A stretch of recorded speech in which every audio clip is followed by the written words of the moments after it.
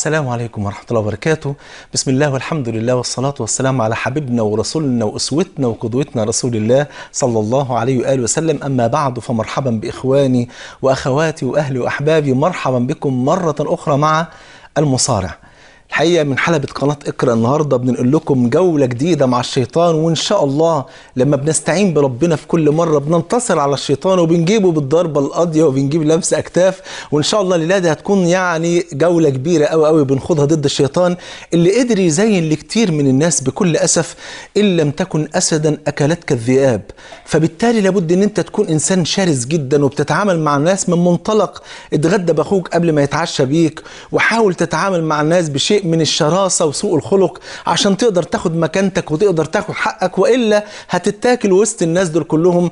وبدأت السموم دي تنتشر بين كتير من الناس. من خلال إن هم يحطوها مرة في فيلم ومرة في أغنية ومرة في مسرحية لحد ما ترسخ في أذهان الناس إن الإنسان الحسن الخلق دوت للأسف ما بياخدش حقه وإن الإنسان لو ما كانش يسوء خلقه ويبقى صوته عالي ويتعامل مع الناس بشراسة هو ده بس اللي بياخد حقه والكلام ده كله باطل وكله غلط. تعالوا نصحح المفاهيم وتعالوا ننتصر على الشيطان ونجيبه لمس أكتاف في الجولة ديت ونقول للدنيا كلها في صراع مع سوء الخلق نقول يا جماعة ديننا دين الأخلاق.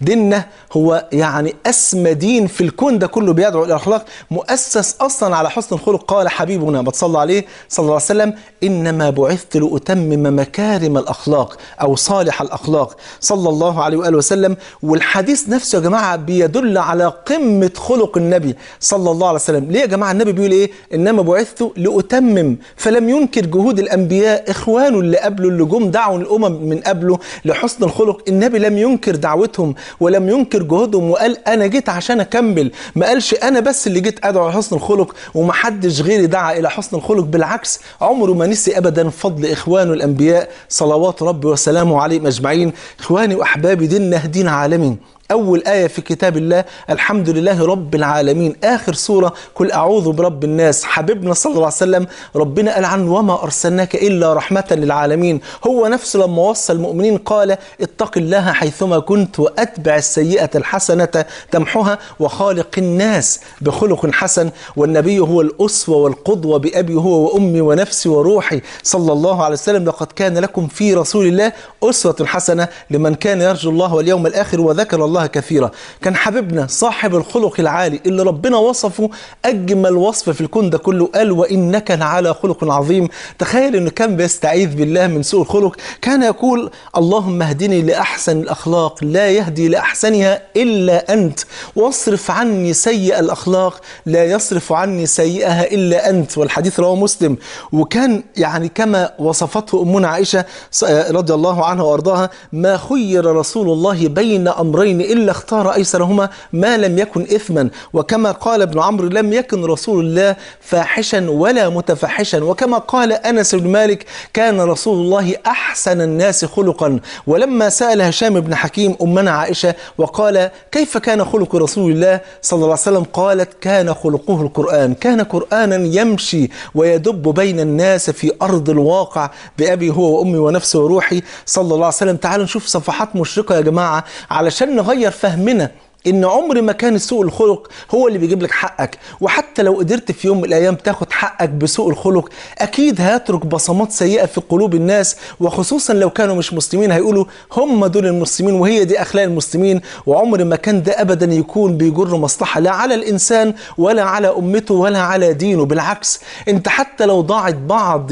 المنافع الشخصية بتاعتك في سبيل إن أنت تنفع دينك وبلدك وتنفع مجتمعك فأنت الكسبان أكيد بفضل الله سبحانه وتعالى وفي ديننا بتذوب المصالح الشخصية وكل إنسان بيضحي بكل ما يملك عشان يخدم دينه ويخدم بلده وهو ده المسلم الحقيقي اللي فعلا بيضحي بكل حاجة ابتغاء مرضات الله. تعالوا نشوف أسوتنا وقدوتنا كيف كان خلق النبي صلى الله عليه وسلم. سيدنا أنس بيحكي موقف جميل قوي بيقول كنت ماشي مرة مع النبي صلى الله عليه وسلم والحديث رواه البخاري ومسلم فبيقول فجي واحد أعرابي والأعراب كان ليهم معاملات كده صعبة شوية. فجه جذب النبي من توبه من ورا وخنق النبي وبيقول له أعطني من مال الله. فاستدار النبي إليه وابتسم. صلى الله عليه وآله وسلم صاحب الخلق العالي الرفيع وابتسم وأمر له بعطاء. بالله عليك لو أنت مكان النبي كنت عملت إيه؟ واحد بيخنقك وبيقول لك أعطني مما أعطاك الله. طبعا كنت هتديله يعني أنت عارف هتعمل فيه إيه وطبعا إحنا على حلبة مصارعة كنت هتاخد راحتك. لكن شوف حبيبك صلى الله عليه وسلم بيعمل إيه؟ لما المسألة كانت تمس هو شخصيا لا يغضب لنفسه ابدا. لكن لما تكون المسألة تمس يعني هذا الدين يعني كان على طول كان يغضب لله سبحانه وتعالى إنما لنفسه عمره ما غضب لنفسه ابدا صلى الله عليه وسلم. في يوم من الأيام والحديث رواه مسلم حبيبنا صلى الله عليه وسلم قاعد في المسجد وحوالينه الصحابة وفجأة واحد أعرابي دخل المسجد وساب الدنيا دي كلها. ودخل المسجد عشان يقضي حاجته أمام النبي. تخيل حضرتك لما تكون أنت رجل داعية أو شيخ وقاعد في مسجد وسط تلاميذك وواحد يدخل أعزك الله يقضي حاجته في المسجد في بيت ربنا هتعمل إيه؟ إيه التصرف اللي ممكن يصدر منك؟ أنا واحد من الناس يعني رغم ان إنسان يعني عندي حلم شديد جدا إلا ان في الوقت ده أنا بجد ما أعرفش أنا ممكن أتصرف إزاي. لكن شوف النبي عمل إيه صلى الله عليه وسلم. في الصحابة لما شافوا المنظر طلعوا السيوف وعايزين يضربوه قال لا تذرموه لا تذرموه يعني لا تقطعوا عليه بولة. سيبوه عشان ما يتضرش. ثم انتظر حتى ينتهي. ثم قال النبي لأصحابه أهريقوا على بوله سجلا أو ذنوبا من الماء حتى تطهر الأرض. وراح منادي للراجل. قال له يا أخ العرب إن هذه بيوت الله لا تصلح لشيء من تلك القاذورات وإنما هي للتسبيح والتهليل وقراءة القرآن وللصلاة وللذكر. فقال أعلم وإنما جئت لأختبر رحمتك فأشهد أن لا إله إلا الله وأنك رسول الله. صلى الله عليه وسلم. وفي رواية أن هذا الرجل قال اللهم ارحمني ومحمدا ولا ترحم معنا أحدا سوانا. الجماعة اللي طلعوا السيوف دولت ما ترحمهمش ابدا يا رب. فضحك النبي وقال لقد تحجر لقد تحجرت واسعا. يعني ربنا بيقول ورحمتي وسعت كل شيء. وأنت بتقول ما ترحمش حد غير أنا والنبي صلى الله عليه وسلم. فقال لقد تحجرت واسعا. الله عز وجل يقول ورحمتي وسعت كل شيء. شفت قد إيه تفاعل هذا الرجل. في رواية ثالثة عند ابن ماجه أن هذا الرجل بعد ذلك تفقه وكان من فقهاء الصحابة رضي الله عنهم وأرضاهم. موقف ثالث عجيب جدا. كان في صحابي اسمه معاوية ابن الحكم السلمي والحديث رواه مسلم. كان موجود مع النبي ومع الصحابة أيام ما كان في بداية الصلاة يباح لهم الكلام أثناء الصلاة. سافر معاوية ونزل الحكم بتحريم الكلام في الصلاة هو لا يدري. فلما عاد من السفر دخل لقى لهم بيصلوا فدخل يصلي معاهم. فهو بيصلي معاهم واحد عطس. فهو في وسط الصلاة بيقول له يرحمكم الله. فالصحابة قعدوا يبصوا له إيه؟ ويعني يبرقوا له عشان يسكت يعني. فبيقول لهم في إيه يعني؟ أنتوا بتبصوا له كده ليه؟ واخد بالك؟ أنا بحاول أبسط لك الحديث يعني. بتبصوا له كده ليه؟ فقعدوا يخبطوا على أفخاذهم عشان يسكتوهم. فقلت يعني واثق لامياه هو إيه اللي حصل؟ يعني وأنا عملت حاجة غلط؟ فبعد ما خلص الصلاة بيقول فوالذي بعث محمدا بالحق ما رأيت معلما أرحم منه من قبل ولا من بعد. والله ما كهرني ولا ضربني ولا شتمني وإنما قال يا معاوية إن هذه الصلاة لا يصلح فيها شيء من كلام الناس وإنما هي للذكر والتكبير والتسبيح وقراءة القرآن. شوف فتعلم بكل بساطة. شوف أخلاق النبي صلى الله عليه وسلم. في يوم من الأيام يجي واحد للنبي شاب صغير يجي للنبي صلى الله عليه وسلم ويقول له يا رسول الله والحديث رواه أحمد بسند صحيح. يقول له يا رسول الله ائذن لي في الزنا. طب بالله عليك أخويا وحبيبي لو أنت رجل داعية وجاي لك شاب بيقول لك ائذن لي في الزنا. هترد عليه تقول له إيه؟ شوف النبي عمل إيه؟ صلى الله عليه وسلم راح مقربه وراح حاطط إيده على على رجليه وقال له أترضاه لأمك؟ قال له لا. جعلني الله فداك يا رسول الله. أترضاه لأختك لعمتك لخالتك؟ وراح جايب له كل نساء العيلة. قال له لا. جعلني الله فداك يا رسول الله. قال كذلك الناس لا يرضونه لأمهاتهم ولا بناتهم ولا أخواتهم إلى غير ذلك. ثم وضع يده الشريفة على صدره.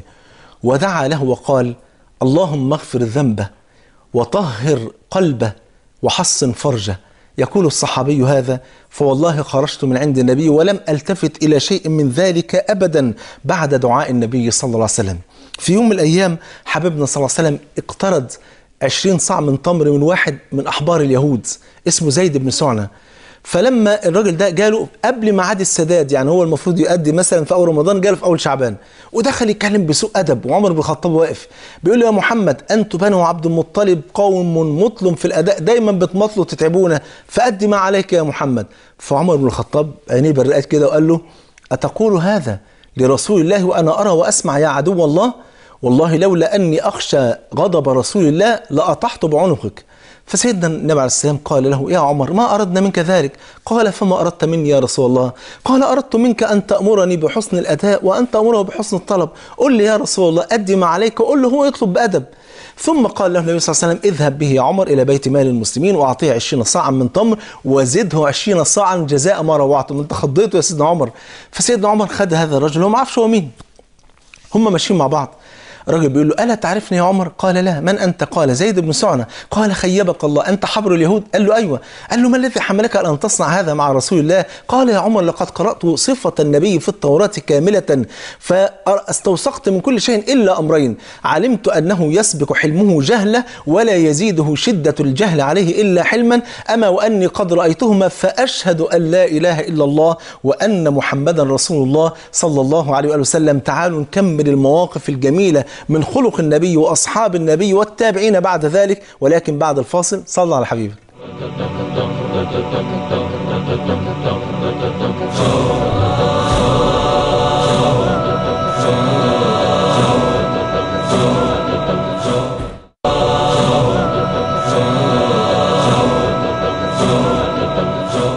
السلام عليكم ورحمة الله وبركاته. بسم الله والحمد لله والصلاة والسلام على حبيبنا رسول الله صلى الله عليه وسلم. أهلا ومرحبا بإخواني وأخواتي مع المصارع. أخويا وحبيبي النهارده إن شاء الله نجيب لمس أكتاف للشيطان إن شاء الله ونقول للدنيا كلها ما فيش حاجة اسمها سوء خلق نجيب بيه حقنا. حقنا بيجي بحسن الخلق وإن لم يأتي فحقنا مضمون دنيا وآخرة وربنا هيكرمك. وشفت قد إيه بحسن الخلق تقدر تجيب اللي أنت عايزه. وأنا عايز أقول حاجة زارة ده على كل المستويات. ما حتى بين الزوج والزوجة. الزوجة لما تعوز تطلب عينين الزوج تطلبها بحسن الخلق قوتك في ضعفك. ولما واحد يعوز يطلب حاجة من أي حد يطلبها بذوق هتجيله ولما تعوز تجيب أي حاجة بالذوق وبالأخلاق بفضل الله هتتحصل على ما تريد. أما المبدأ الشيطاني الهدام اللي هو كن اسدا حتى لا تاكلك الذئاب اتغدى بأخوك قبل ما يتعشى بيك. ده مبدأ شيطاني. إحنا عايزين نلغي كل المبادئ الهدامة ونقول قول النبي صلى الله عليه وآله وسلم حينما أخبر أن يعني وأتبع السيئه الحسنه تمحوها وخالق الناس بخلق حسن. خالق كل الناس ايا كانوا على اختلاف ملتهم وعلى اختلاف ديانتهم. أنت بتعامل الناس على إن هم ناس بتعاملهم لله سبحانه وتعالى. إذا كان إحسانك لقطة ربنا بيكرمك بيه دخلت امرأة النار في هرة لأنها اذتها شوف قد إيه؟ وفي المقابل امرأة بغي أدخلها الله الجنة وغفر لها ذنوبها بسبب أنها سقط كلبا. فاذا الإنسان لما يحسن لأي شيء في الكون ده كله والإحسان شيء جميل جدا جدا اتعلمناه من خلق رسول الله صلى الله عليه وسلم. تعالوا نشوف موقف عجيب جدا. في يوم من الأيام حبيبنا صلى الله عليه وسلم دعا الصحابة للصدقة. فعمر بن الخطاب جاء بنصف مالي وأبو بكر جاء بكل مالي وعثمان بن عفان تصدق بعدد كبير جدا من الدراهم الذهبية إلى غير ذلك. فجاء واحد صحابي قعد يبحث عن أي حاجة يتصدق بها فلم يجد شيئا. فقال اللهم إني ما وجدت شيئا أتصدق به فاللهم إني أشهدك أني قد تصدقت اليوم بعرضي. على كل من شتمني أو سبني أو آذاني فقد عفوت عنه وأنت أولى بالمسامحة فاعف عني وسامحني. يا سلام على الخلق الجميل. موقف عجيب جدا جدا. كان فيه تابعي جليل اسمه إبراهيم بن أدهم. في يوم من الأيام يا جماعة ماشي في الشارع فقابله واحد يهودي وأعزكم الله معاه كلب كده بيجره بسلسلة. فحب يستفز إبراهيم بن أدهم فقال له يا إبراهيم قال ماذا تريد؟ قال ألحيتك خير من دنب كلبي يعني أعزكم الله دي للكلب ألحيتك خير من دنب كلبي أم دنب, كلب أم دنب كلبي خير من لحيتك؟ فإبراهيم بن أدهم يعني أنا مش عارف يعني سبحان الله الناس دي شوف الخلق يا أخي الجميل تماسك بشكل عجيب جدا. قال له والله لو كان دنب كلبك في الجنة ولحيتي في النار فدنب كلبك خير من لحيتي. ولو كانت لحيتي في الجنة ودنب كلبك في النار فلحيتي خير من دنب كلبك. فتبسم اليهودي وقال والله ما تلك إلا بأخلاق الأنبياء فأشهد أن لا إله إلا الله وأشهد أن محمدا رسول الله صلى الله عليه وسلم. يجي في يوم الأيام واحد للإمام الشافعي اللي هو يعني كالشمس للدنيا وكالعافية للأبدان كما قال تلميذه الجليل الإمام إمام أهل السنة والجماعة الإمام أحمد بن حنبل رحمهم الله جميعا. في يوم من الأيام يجي له واحد ويتجرأ على الإمام الشافعي وبيقول له أنت الشافعي؟ قال أجل. قال إنك فاجر فاسق.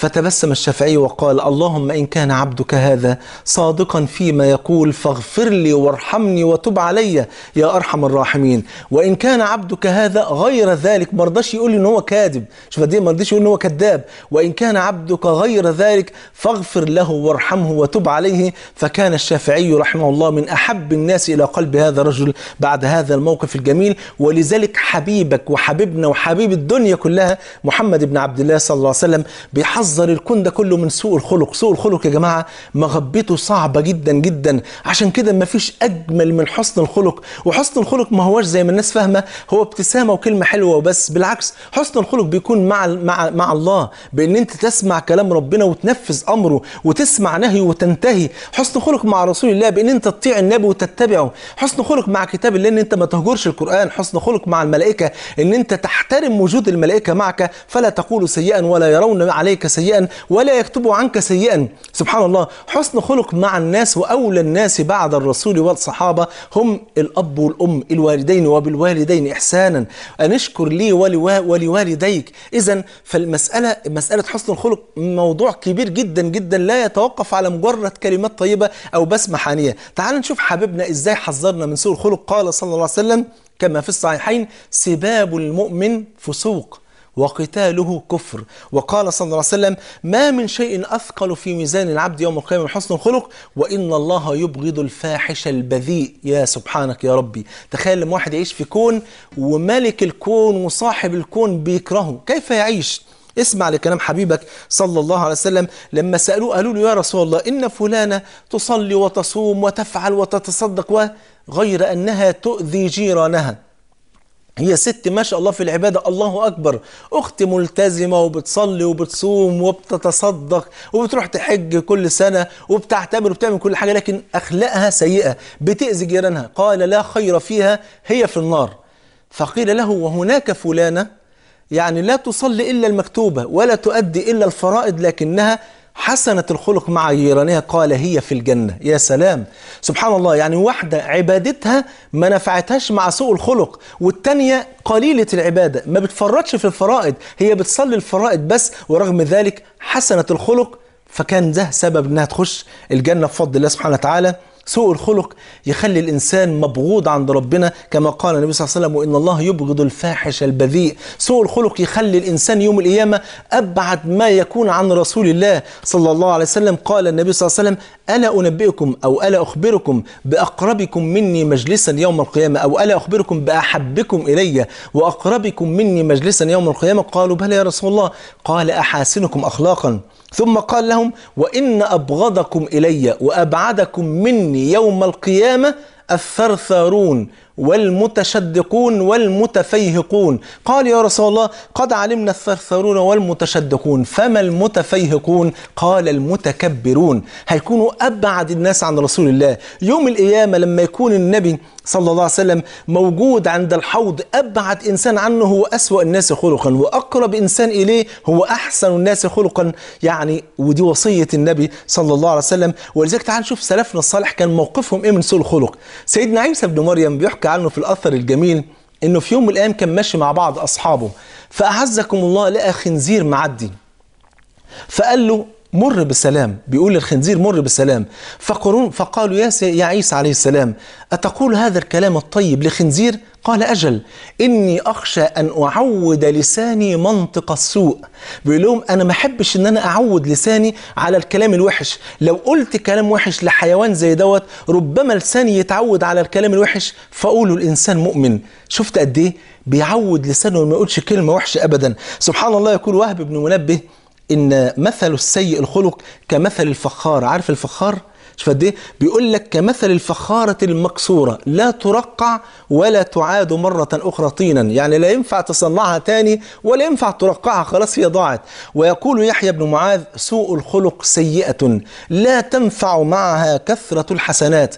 وحسن الخلق حسنة لا تضر معها كثرة السيئات. وقال حسن رضي الله عنه وارضاه من ساء خلقه عذب نفسه ولذلك تعالوا نشوف دعوة عظيمة جدا من صاحب الخلق الرفيع اللي ربنا قال عنه وإنك لعلى خلق عظيم بيدعو الكون كله لحسن الخلق. عشان نعرف يا جماعة إن الدنيا عمرها ما كانت عافية وعمرها ما كانت اتغدى بأخوك قبل ما يتعشى بيك وعمرها ما كانت بالصوت العالي تاخد حقك وبالمعاملة الوحشة الناس تخاف منك.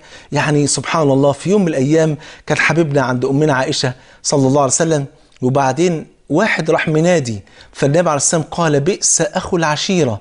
فلان الفلاني بئس أخو العشيرة. ثم أذن له فدخل الرجل فهش له النبي وبشر يعني وتعامل معه معاملة طيبة. فلما خرج الرجل تعجبت أمنا عائشة قالت يا رسول الله قلت أنه بئس أخو العشيرة وفعلت ما فعلت. عملت معاملة حلوة. قال إن من أشر الناس عند الله منزلة يوم القيامة يا عائشة من يدعه الناس اتقاء فحشه في بعض الناس يا جماعة بتضطر إن أنت تتألف قلبه مش لأنه كويس ولا انه يستحق المعاملة الطيبة لأنه إنسان شرير ما ينفعش تتعامل معاه إلا بالمعاملة الطيبة ديت وإلا هينالك من أذى هذا الإنسان الكثير والكثير. فمش كل إنسان بيتعامل معاملة كويسة إن هو بيستحق المعاملة دي. في إنسان بيبقى الشر غالب عليه وطافح عليه لدرجة إن الناس بتتألف قلبه عشان ما تصابش بأذى هذا الإنسان. يقول صلى الله عليه وسلم بيوضح لك ترمومتر الإيمان. في قلب أي عبد قال أكمل المؤمنين إيمانا أحاسنهم أخلاقا. قال صلى الله عليه وسلم إن المؤمن لا يدرك بحسن الخلق درجة الصائم القائم. يوم القيامة هتدرك بحسن الأخلاق. درجة الإنسان اللي بيصوم لا يفطر والذي يقوم ولا يفطر. ويقول صلى الله عليه وسلم ما من شيء أثقل في ميزان العبد يوم القيامة من حسن الخلق. سئل النبي عن أكثر ما يدخل الناس الجنة قال تقوى الله وحسن الخلق. وسئل عن أكثر ما يدخل الناس النار قال الفم والفرج. قال صلى الله عليه وسلم إن أقربكم مني مجلسا يوم القيامة أو من إن أحبكم إلي وأقربكم مني مجلسا يوم القيامة أحاسنكم أخلاقا. قال صلى الله عليه وسلم أنا زعيم يعني أنا ضامن ببيت في أعلى الجنة لمن حسن خلقه. تعالوا يا جماعة نحسن أخلاقنا مع الناس. تعالوا نحسن أخلاقنا مع الكون ده كله.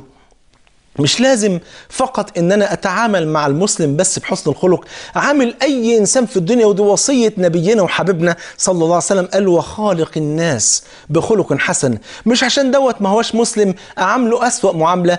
في فرق بين الولاء والبراء يا جماعة عشان نفهم المسألة؟ في فرق بين حسن الخلق اللي بيشترك فيه جميع الناس حس حسن أخلاقك مع الناس بنية دعوتهم إلى الله سبحانه وتعالى. أنت لما تكسب واحد أيا كانت ديانته لما تكسبه في صفك ويحب الإسلام ويحب المسلمين ربما في يوم من الأيام يسلم ويكون أخا لك في الله وتبقى أنت اللي كسبت بفضل الله سبحانه وتعالى. حضرتك لو تتذكر إن ياما ناس كتيرة جدا يا جماعة دخلت الإسلام بسبب الأمانة والصدق والوفاء والإخلاص والأخلاق الطيبة اللي شافوها من تجار المسلمين. كان التاجر يقف بحسن أخلاقه وغض بصره ومعاملته الطيبة وحفظ لسانه والمعاملة الطيبة السمحة والأمانة في البيع والشراء. كان عدد كبير جدا من المشركين ومن الكفار كانوا بيدخلوا في الإسلام بسبب حسن الخلق. تعالوا نحسن أخلاقنا عشان نعرف الكون ده كله إن ديننا دعوة اخلاقيه أخلاقية وديننا بيدعو لحسن الخلق وإن نبينا صلى الله عليه وسلم هو صاحب أسمى رسالة أخلاقية في العالم كله هو اللي ربنا قال عنه سبحانه وتعالى وإنك لعلى خلق عظيم تعالوا نحسن أخلاقنا وبكده نكون بفضل الله. جبنا الشيطان لمس أكتاف وضربناه بالضربة القاضية وما يكونش ما بيننا بعد كده سوء خلق أبدا. وأكيد بحسن أخلاقك والله هتكسب العدو قبل الصديق وهتكسب البعيد قبل القريب وهتكون محبوب لقلوب الناس جميعا. بحسن أخلاقك وهتحبب الناس في دينك وهتكون صورة طيبة ودعوة طيبة عملية لدين الله سبحانه وتعالى.